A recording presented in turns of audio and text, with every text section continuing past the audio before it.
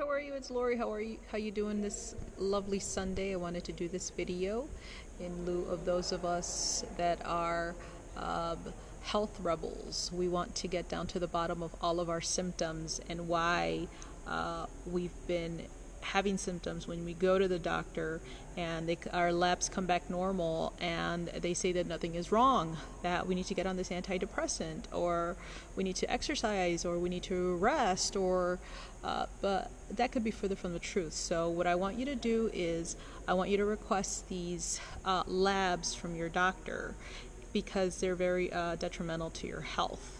Now, the first lab is a TSH, that's a thyroid stimulating hormone. The second test is a free T3. Uh, the third is a free T4. Um, the fourth is a reverse T3, that's RT3. Also, that'll include TPO antibodies, uh, thyroglobulin antibodies, sex hormone binding globulin, ferritin, serum iron, TIBC. Now, I got this information uh, directly. I'm on my phone, by the way.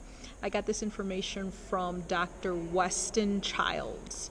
Um, he's actually a an expert, great doctor in thyroid health and endocrine um, uh, disorders. And I wanted to kind of refer you to his site because. Uh, you know, if you're having an issue, you're having a problem, I want to give you the best resources. Um, one of the greatest, one of the best resources I think are out there. She's just like incredible, just great motivation for me is Dr. Izabella Wentz.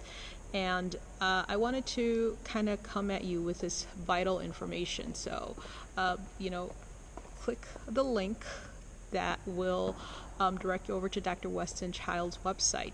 And so, once again, this is Lori. I won't take too long on this video. I think I've already said enough.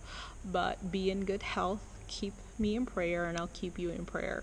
And don't forget to like, share, and subscribe. And also comment. Tell me what are your health issues? What are you dealing with? Uh, and if it does, and it doesn't even have to be your health issues. What issues are you struggling with? Are you tr- struggling in relationships? Are you struggling in finances? And uh, what are you going to do particularly to change your situation? So, again, this is Lori, and I will talk to you soon. To your good health. Bye.